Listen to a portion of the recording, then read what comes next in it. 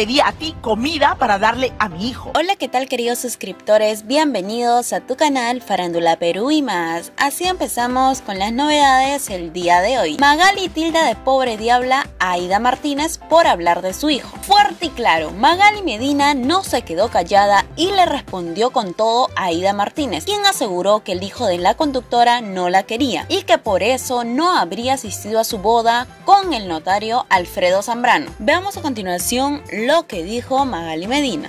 Si hablamos de hijos, ¿qué podemos decir de Marquito que ni siquiera fue a tu boda? O sea, tu propio hijo ni siquiera fue a tu boda, no te quiere. Lo que no acepto es su justificación estúpida de decir que ella se ha metido con mi hija. No me he metido con tu hija, te, me meto contigo, que eres la adulta, la mediática, la que sufructa de sus redes sociales y por lo mismo cualquiera de nosotros, de críticos de televisión, puede criticarte, porque eres criticable, eres criticable.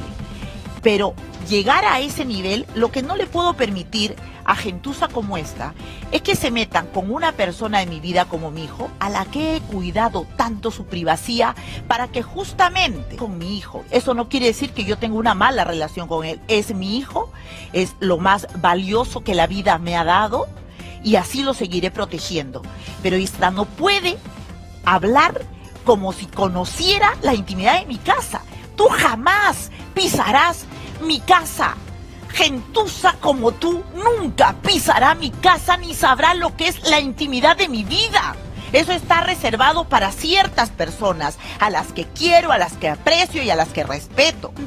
Difamatorio y estás destruyendo reputación de personas que no tienen nada que ver absolutamente con el trabajo que yo haga.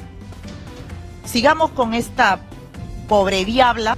Lo único que tú quieres es el dinero que tienes, la plata que tienes. ¿Qué cosa? Me lo he ganado a pulso. Me lo he ganado en una época que no había ni redes sociales. Yo mantuve a mi hija solo, a mi hijo sola. Sola, con el sudor de mi frente, sola no con el sudor de mi poto, con el sudor de mi frente, que llenes tu boca cochina, sucia, con la gente que más amo en la vida. No, no lo permito, no lo puedo permitir. Antes de eso nadie me dio de comer. No te pedí a ti comida para darle a mi hijo. No, chambié sola, sola, como la mujer guerrera que soy, de la que además yo misma me siento orgullosa. Prostituta a otra no es nuestro caso, dice.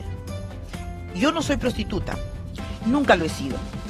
El país entero lo sabe. De ti, no sabemos. Eh, Aida, lo que noto es una gran envidia y resentimiento.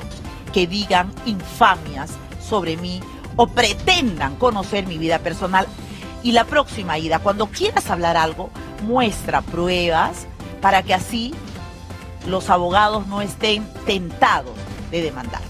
¿Y ustedes qué opinan ante estas fuertes palabras de Magali Medina hacia Aida Martínez? ¿Se lo merecía? ¿Y ustedes qué hubieran hecho? Déjame su opinión en la cajita de los comentarios y no olviden de suscribirse y activar la campanita para más información. Nos vemos en una próxima edición de Farándula más. Bye bye.